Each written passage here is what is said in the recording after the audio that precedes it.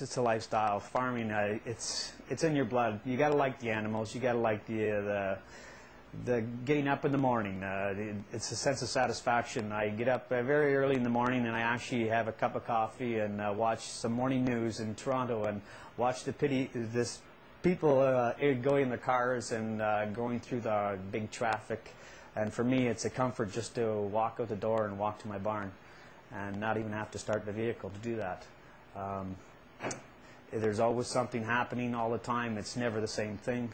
You're uh, you're a veterinarian, you're a plumber, you're an electrician, you're a welder, a fabricator. Yeah, you you do everything here. It's not just one occupation. Yeah, and you're taking care of the environment too because it's your land also. So it's um, it's a sense of satisfaction.